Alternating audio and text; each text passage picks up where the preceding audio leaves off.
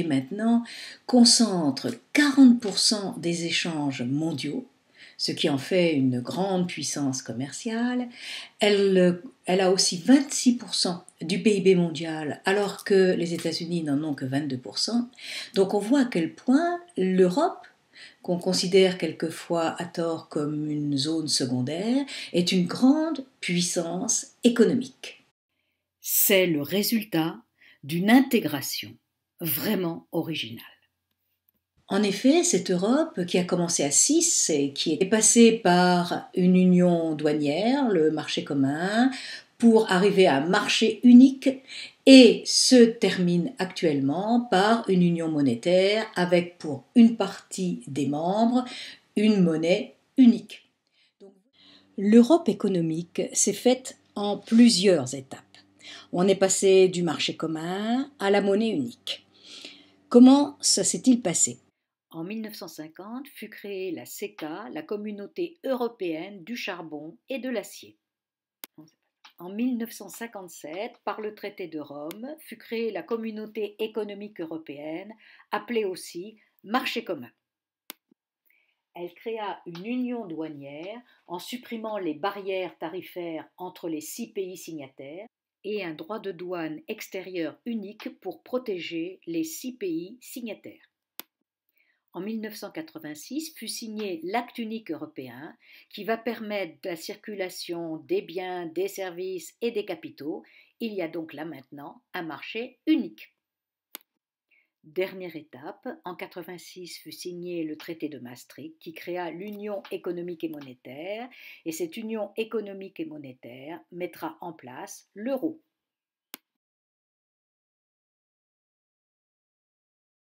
Si au départ euh, l'Union européenne voulait être une union politique, elle est très vite devenue une union économique. Et l'intégration, en fait, s'est faite en tant qu'intégration économique. Il n'y a qu'à voir marché commun, marché unique, monnaie unique, tout ceci, c'est de l'intégration économique. Pourquoi faire cette intégration économique? Pourquoi avoir un marché unique?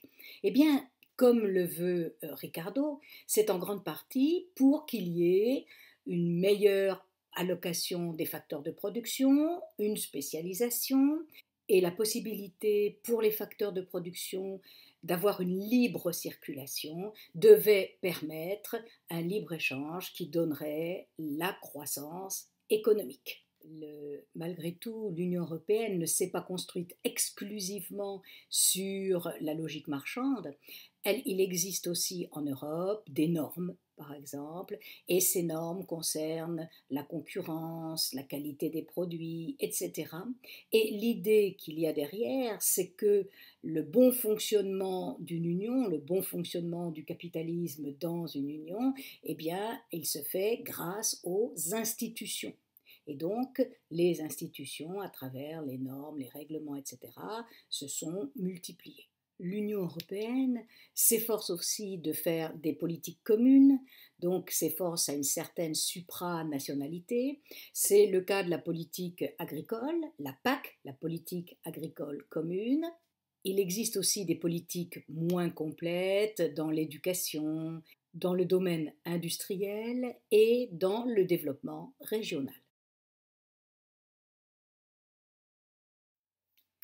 Les Européens ont voulu aussi réussir une intégration monétaire.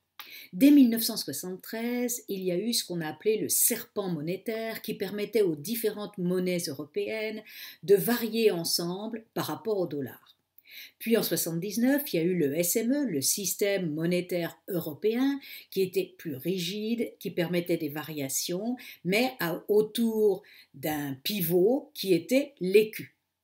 Et lorsqu'il y a eu le traité de Maastricht, on a décidé de faire une union économique et monétaire. Et cette, cette union économique et monétaire, elle devait avoir une monnaie unique, et cette monnaie unique devait être l'euro.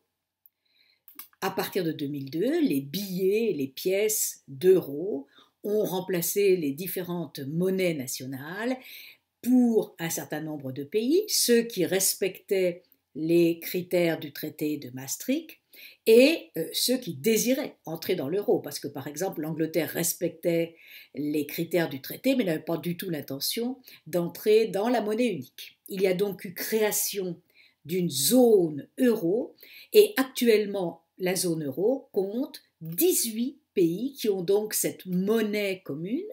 Cette monnaie commune, l'euro, est gérée par la Banque centrale européenne, et cette Banque centrale européenne est indépendante des différents États.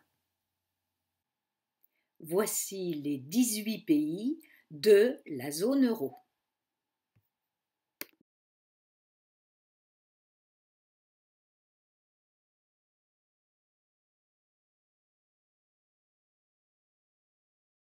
Les avantages qui étaient attendus de cette nouvelle monnaie, l'euro, étaient très importants. Premièrement, la stabilité monétaire, ce qui était absolument essentiel au pays de l'euro, qui avait été attaqué par les marchés et les monnaies avaient été très déstabilisées. Grâce à la monnaie unique, il n'y avait plus d'attaque spéculative possible. Donc une véritable stabilité monétaire qui permettait pays d'un côté, aux entreprises de l'autre, de pouvoir faire des prévisions.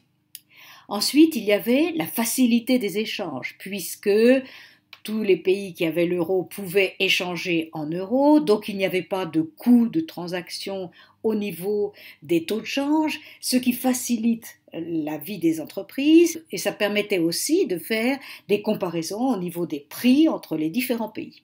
Et puis, et surtout, il y avait la faiblesse des taux d'intérêt. Quand les, taux d'intérêt sont faibles, eh bien c'est parce que les marchés ont confiance dans une monnaie. Là, la monnaie, c'était la monnaie unique de pays qui étaient quand même des pays très développés. Cette monnaie était gérée par une banque indépendante qui était la BCE. Donc, les taux d'intérêt devaient être faibles parce que les marchés devaient avoir confiance. Et nous verrons, ce fut le cas. Cela permet la consommation à crédit, cela permet d'investir euh, à coût très faible, et donc ça devait permettre d'augmenter la croissance économique. Malgré cette volonté de pousser la croissance économique, en fait, cette dernière n'est pas vraiment au rendez-vous. Ce graphique de l'Eurostat nous montre le PIB par habitant en PPA.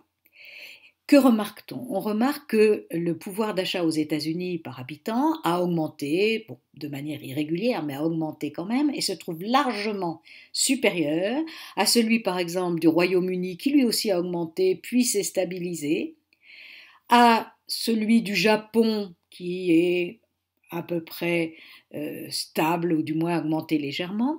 Quand on regarde celui de la zone euro, on s'aperçoit qu'il n'y a eu quasiment pas d'augmentation, ou fort peu, et que de toute manière, il s'est stabilisé à la place la plus basse. Donc parmi tous les grands pays, eh c'est encore ceux de la zone euro qui ont le pouvoir d'achat le plus faible. Ce graphique de l'Eurostat nous montre l'évolution des taux de chômage depuis 2000 jusqu'à 2012. On voit ici en bleu, c'est la zone euro et on voit que c'est elle qui a le taux de chômage le plus élevé et non seulement le plus élevé, mais en nette progression. Il en est de même de l'Europe à proprement parler. On voit ici l'UE avec un taux de chômage en progression. Et ceci à comparer avec les États-Unis qui avaient un taux très faible. En effet, l'UE euh, ou la zone euro avait déjà un taux relativement élevé avant même la crise. Là, on voit que les États-Unis avaient un taux très faible, que ce taux était resté relativement bas jusqu'à la crise. Certes, à la crise, il y a eu un taux de chômage élevé, mais ensuite, il a baissé et baissé rapidement contrairement à l'euro. Et la stratégie de Lisbonne en 2000, qui voulait faire de l'Union européenne l'union de la connaissance la plus importante du monde, n'a certes pas euh, réussi son challenge. De plus, des voix s'élèvent pour réclamer un petit peu de protectionnisme, faisant remarquer que l'Union européenne est largement ouverte sur le monde, peut-être trop largement ouverte sur le monde, alors que les autres grandes puissances ont des politiques parfois nettement plus restrictives. Donc c'est un des piliers de l'Union européenne, ce pilier qu'est le libre-échange, qui commence à être critiqué par certains. De plus, les politiques conjoncturelles sont contradictoires. Pour une Europe euh, qui est en crise, il y a deux politiques possibles pour lutter contre la crise. La politique budgétaire et la politique monétaire. Ce sont des politiques conjoncturelles. Et que font ces deux politiques? La politique monétaire est unique et expansionniste. Eh bien, euh, le problème de l'Europe, c'est qu'il y a d'une part une politique monétaire pour l'ensemble des pays de l'euro, quel que soit l'état de ces pays. C'est la BCE qui le mène, et la BCE va mener cette politique monétaire à travers un instrument qui est celle des taux directeurs. Ces taux directeurs sont très faibles actuellement et ils déterminent les taux d'intérêt, les taux d'intérêt lorsqu'on emprunte, lorsqu'on fait un crédit. Et ce taux directeur va déterminer l'inflation, c'est-à-dire s'ils sont faibles, eh bien il y a peut-être un risque d'inflation. Bon, actuellement le risque d'inflation n'est pas trop fort. S'ils sont faibles, il va déterminer le taux de change. Or normalement, quand ils sont faibles, le taux de change devrait être faible parce que bah, l'euro ne devrait pas être très attractif, donc on ne devrait pas demander beaucoup d'euros, donc l'euro devrait être faible. En fait, ce n'est pas le cas du tout, les taux d'intérêt sont faibles, l'euro reste fort. Avec ces taux d'intérêt faibles, la politique monétaire de la BCE, c'est une politique expansionniste. Il y a des liquidités importantes qui vont dans le système économique pour pouvoir soutenir ce système économique. Maintenant, voyons voir ce que cela donne. Si les taux d'intérêt sont faibles, ce qui est le cas actuellement, c'est favorable théoriquement à la consommation et à l'investissement, puisque la consommation à crédit peut se faire facilement. L'investissement, si l'on emprunte, les emprunts sont pas chers, donc ils sont normalement rentables, ce qui devrait faire augmenter la demande globale, donc la production, et ce qui devrait faire baisser le chômage. Comment se fait-il qu'on n'y réussisse pas? Les politiques budgétaires sont différentes selon les pays et souvent restrictives. Et actuellement, beaucoup de pays, soit la plupart, surtout dans la zone euro, sont contraints par le pacte de stabilité et de croissance. Ce pacte de stabilité et de croissance avait décidé que le déficit budgétaire annuel ne devait pas dépasser les 3%, que la dette publique ne devait pas dépasser 60% du PIB, et donc que le service de la dette, c'est-à-dire ce que devait payer l'État euh, pour rembourser tous les ans, ne serait pas trop fort. Or, actuellement, que se passe-t-il? Le déficit est supérieur aux 3% dans la plupart des pays. La dette publique est largement supérieure aux 60%, le service de la dette est très fort et pose des problèmes. Et donc, que font les pays? Eh bien, ils font des politiques budgétaires qui sont restrictives, puisque L'idée, c'est il faut absolument réussir à avoir un déficit budgétaire qui soit proche des 3%. Donc, il faut diminuer les dépenses, il faut augmenter les recettes, c'est-à-dire augmenter les impôts, et en espérant que cela pourra faire baisser la dette publique et donc le service de la dette. Or, à partir du moment où on fait une politique budgétaire restrictive, c'est ce qu'on appelle l'austérité, il est évident que ça ne peut pas être favorable à la consommation puisque l'État va baisser ses dépenses, donc il va faire moins de consommation, il va aussi avoir un État-providence moins fort, donc on va moins distribuer d'allocations. Ensuite, au niveau de l'investissement, euh, c'est pas bon non plus parce que d'abord les investissements publics sont déjà beaucoup moins importants et le résultat, c'est une demande qui n'arrive pas à augmenter, voire parfois qui faiblit. Donc la production suit, elle n'augmente pas, voire elle faiblit, et donc le chômage augmente. Ces politiques sont donc largement contradictoires. Mais ce ne sont pas les seules. Il y a par exemple les politiques fiscales. Certains font du dumping fiscal, comme l'Irlande pour attirer les entreprises. D'autres font du dumping social, comme les pays d'Europe de l'Est, là encore pour attirer les entreprises. Donc, toutes ces politiques ont besoin de beaucoup plus de collaboration entre les différents pays et d'une meilleure intégration. Il est absolument nécessaire pour que l'Europe évolue qu'il y ait une intégration bancaire, une intégration politique, une intégration sociale qui repose sur des institutions stables et efficaces.